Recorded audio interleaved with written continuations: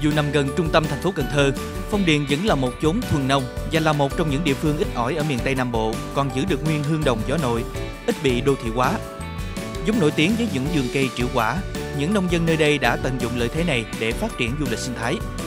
Chỉ với một mức phí rất nhỏ, du khách có thể vào vườn, tự tay bẻ và thưởng thức trái cây trong không gian yên bình mà trước đây từng là dùng chiến sự ác liệt.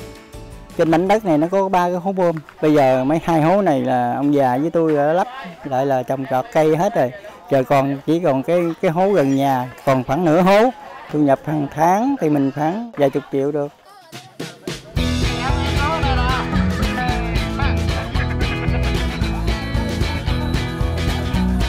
Không chỉ có trái cây, huyện Phong Điền hiện có tới 45 điểm khu du lịch sinh thái với nhiều hoạt động thú vị, gợi nhớ về những ký ức miền quê sông nước. Chứ bây giờ toàn là bộn bề công việc mà toàn là ăn uống xong rồi đi làm cứ theo guồng quay đó thôi.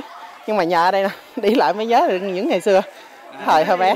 khách tới đây là thứ nhất là họ tham quan cái miệt vườn của mình như thế nào cái thứ hai nữa là họ coi lại những cái mô hình mà hồi trẻ họ họ có những trải qua những mô hình như là tắt ao bắt cá nè đi cầu khỉ nè rồi trò chơi đu dây chạy xe đạp rồi đó Bên cạnh các khu du lịch sinh thái, chợ nổi Phong Điền cũng là một điểm đến hấp dẫn du khách bởi chợ có những điều thú vị rất riêng so với chợ nổi Cái Răng đã trở nên quá quen thuộc.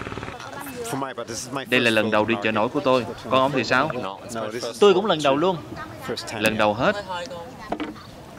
Và chúng tôi thích chợ nổi này bởi vì nó không quá lớn. Một cái chợ đúng nghĩa chứ không phải dành cho dân đi du lịch. Vì vậy tốt hơn là cứ giữ chợ như thế này, yên bình và đừng quá ồn ào với du lịch. Ngày nay, dấu đường bộ đã phát triển đến tận những vùng nông thôn hẻo lánh của huyện Phong Điền. Nhưng khu chợ trên sông này vẫn tiếp tục tồn tại, tiếp tục hợp tan theo con nước. Cùng với đó, những vườn cây trái xum xuê, những con rạch đan xen chằng chịt, những món ăn dân gian đặc sắc cùng nếp sống thân tình đặc trưng của người miền Tây sẽ khiến những ai đã một lần ghé thăm Phong Điền chắc chắn sẽ lưu luyến và dành nhiều tình cảm mến thương cho vùng đất dân dã này.